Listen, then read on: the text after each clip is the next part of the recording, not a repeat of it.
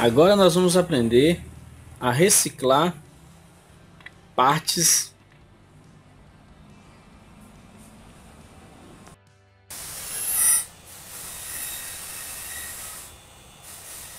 Agora nós vamos aprender a reciclar aqui a placa mãe.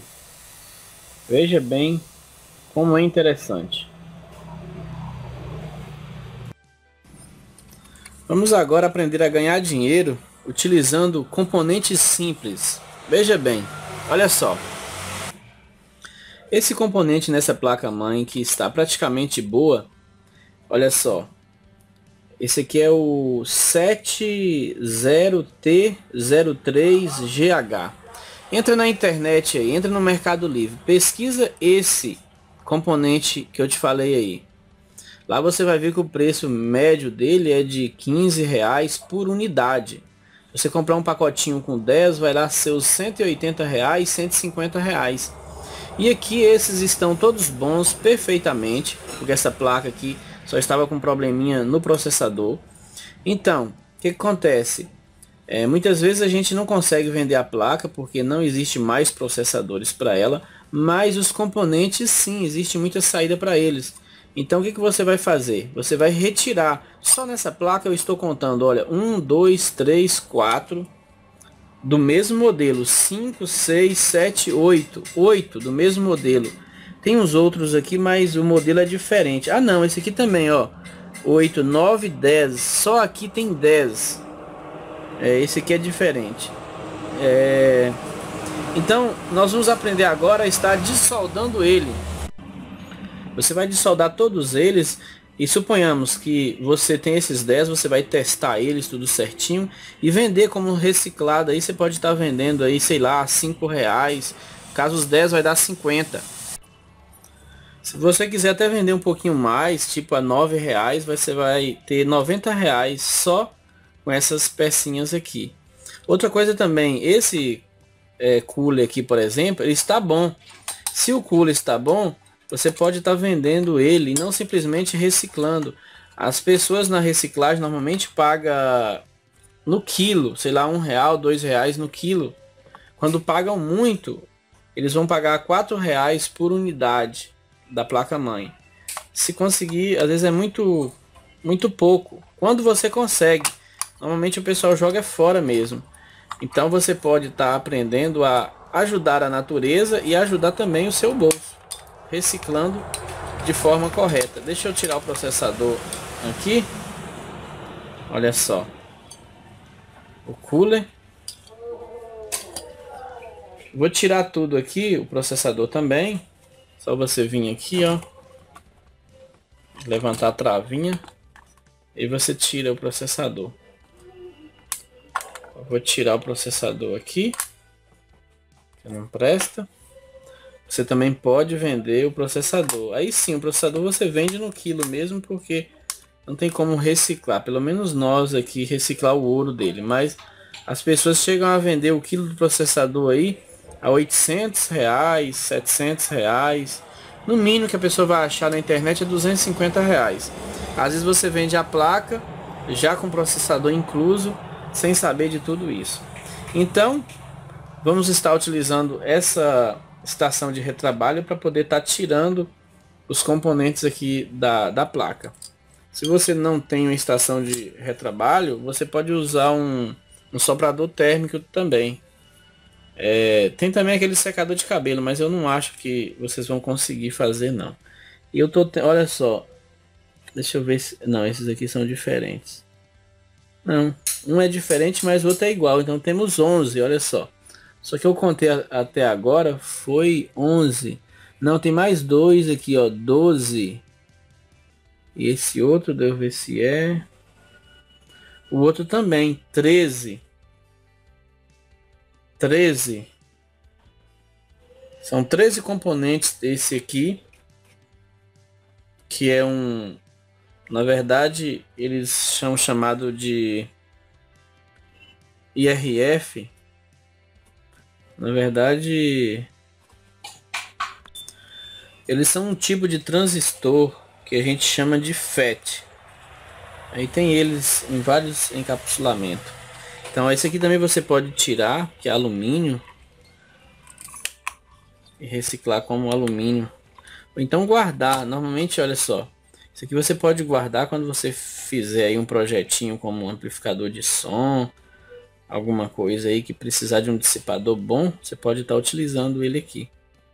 E é muito bom, ainda tem as travinhas aqui, ó. Só você soldar também essas hastezinhas aqui. Olha só. E aí depois você solda na sua placa e consegue travar ele de forma perfeita. Então, vamos agora fazer esse procedimento. Olha só, galera. Aqui você vai jogar o ar quente com soprador térmico até o, o componente soltar da placa. É muito simples mesmo. Vou jogando aqui, vou tirar isso aqui também e vou jogando o ar quente aqui até ele soltar e mostrar para vocês. Aí você vai jogando calor, jogando calor, assim ó, fazendo movimentos, até você com a espátula conseguir, olha só, mexer ele, pronto. Mexer você pode passar para o próximo, olha só, ele fica solto. Vamos passar para esse aqui para vocês verem de perto. Olha só. Lembrando quando tem quando tem algum tipo de de outro componente com, com plástico, tem que ter muito cuidado. Porque senão você queima o outro componente.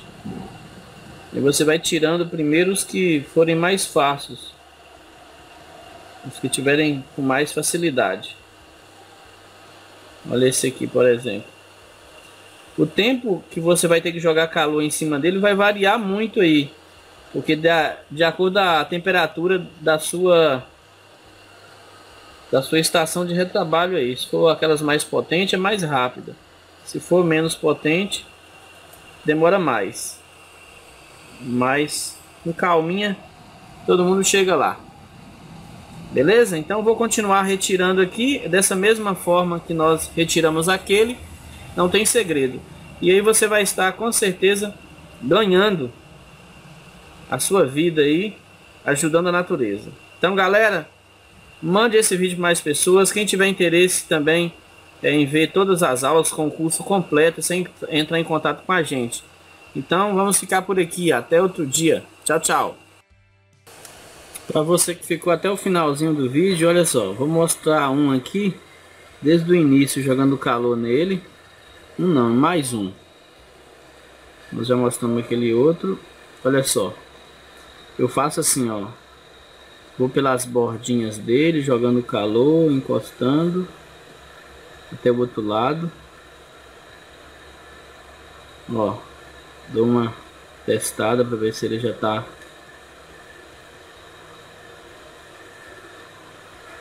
bom. Mais outra testada.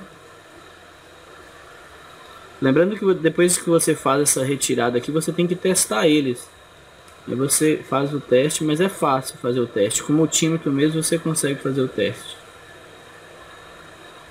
Ó, e tem uns que estão mais duros. Opa! E vocês viram esse estralo? Lembra que eu falei quando tem capacitor perto a gente tem que ter muito cuidado? Então olha só, esse capacitor aqui, ele ele deu uma, uma saturada e subiu. Por isso que fez esse barulhozinho. Então esse aqui também perto, pode acontecer isso mesmo com ele. Então para que isso não aconteça, lógico se você não tiver medo não tem problema, mas se você tiver medo, para que isso não aconteça você faz o seguinte, pega um alicate e arranca ele. Eu vou fazer isso. Prontinho. Tirei aqui. Olha só. E esse aqui foi o que explodiu. Olha só. Olha esse aqui, ó, o que não explodiu. Esse aqui também não explodiu. E foi só esse mesmo. Na verdade não é bem que explodiu, ele estufa, né? Olha só, esse aqui, ó. Pouquinho. Mas vamos continuar aqui então. Vamos começar jogando calor, olha só. Ficou até mais limpo aqui, melhor para mexer. Jogando calor em derredor. vou aumentar um pouquinho mais aqui para a temperatura para pelo menos 300 graus. Olha só.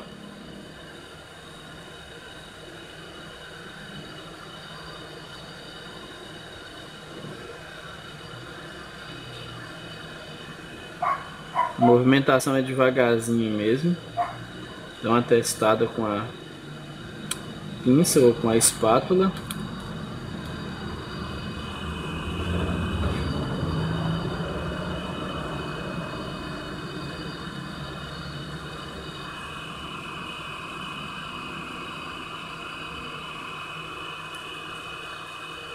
Tem uns que é mais duro, esse aqui parece que é dos mais duros mesmo.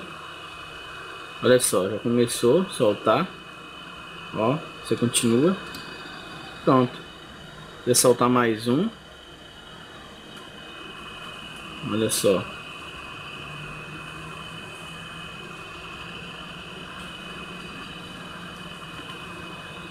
Ó.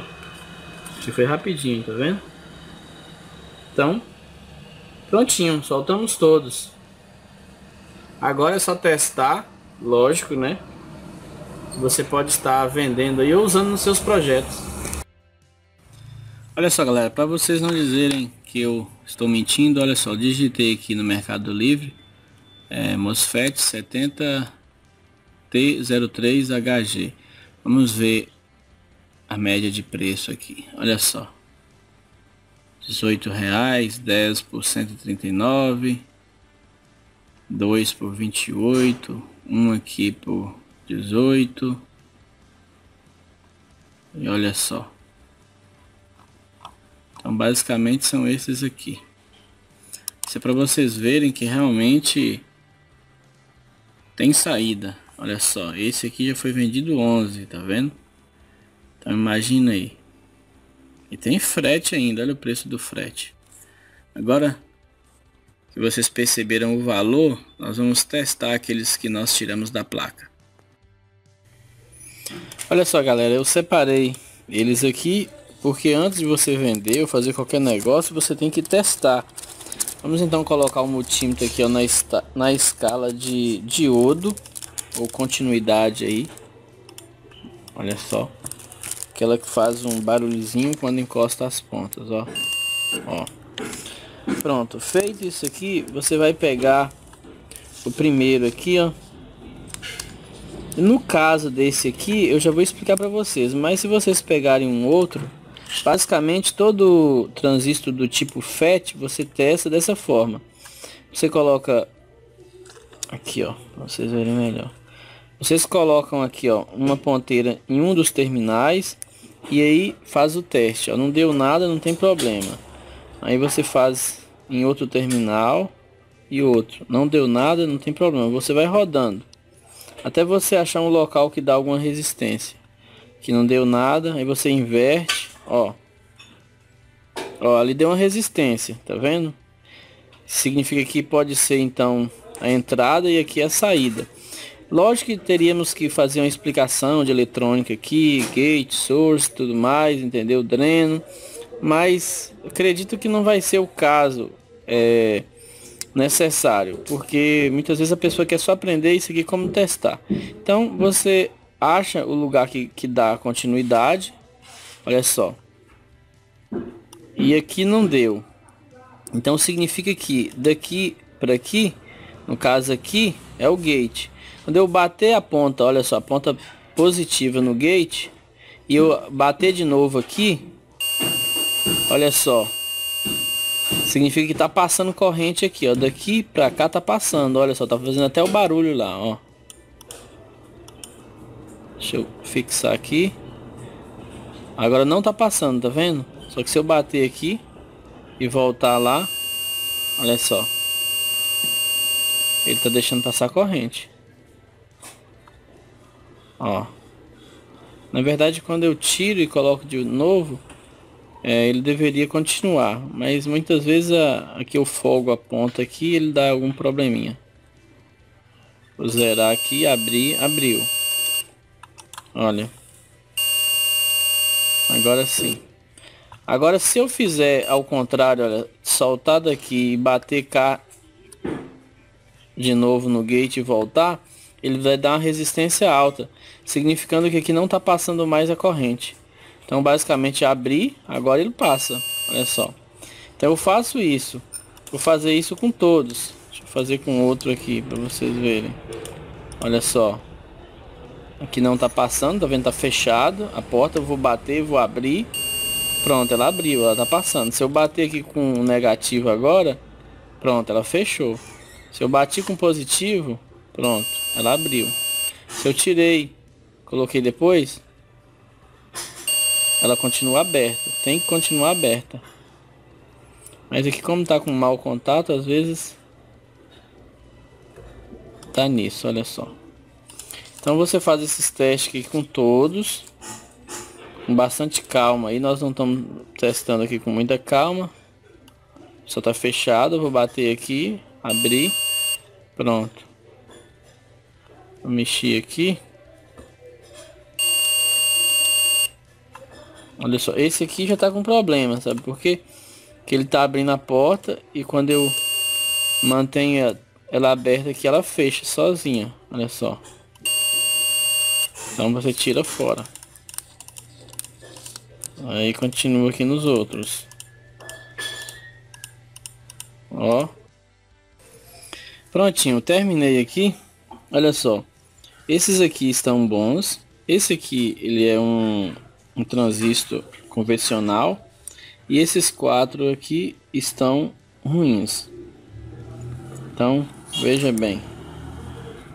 Olha só. Então tivemos 10. Vamos dizer aí 8, 9 reais. Então 90 reais aqui. E esses aqui eles não estão totalmente ruins. Eles funcionam, mas eles estão é, com tempo é, de, de porta aberta acho que baixo. Mas você colocando o capacitor ali para regular, ele funcionaria beleza. Mas de qualquer forma é melhor a gente fazer o teste e só mandar os que tiverem certeza que estão bons. Que também você pode fazer um teste também com o multímetro analógico para ter certeza que eles não estão bons, mas todos todos os casos vamos considerar que não estão bons. É, então vamos finalizar aqui só mostrando novamente o teste. Olha só, eu coloco a ponteira é, preta no aqui que é o negativo, coloco aqui, olha só, você vê, não faz barulho nenhum, porque tá fechado, tá vendo? Fechado. Se eu bater aqui na porta com a ponteira vermelha e bater de novo lá, olha só. Deixa eu testar de novo aqui. Olha só, tem que encostar bem encostadinho, tá vendo? Tá com a porta aberta e mantém. Agora se eu é, fazer o contrário aqui, ó. Bati aqui ele já vai ficar com a porta fechada, olha só. Olha lá, não passa nada. Se eu bati aqui e voltei, já abriu. Então é isso aí. Então basicamente é isso aí. Se você gostou, deixa aquele like aí para ajudar na divulgação. Se você quiser tirar alguma pergunta, pode deixar a pergunta nos comentários aí. Se você quiser fazer parte da família Pós-Info, se inscreve no canal aí, você vai ter prioridades na hora de responder as perguntas e também na hora de você estar tirando suas dúvidas. Com certeza, sendo membro aí também do canal, você vai conseguir muito mais, é, com muita mais facilidade, né? Então, galera, é isso aí. Vamos ficar por aqui. Até outro dia. Tchau, tchau.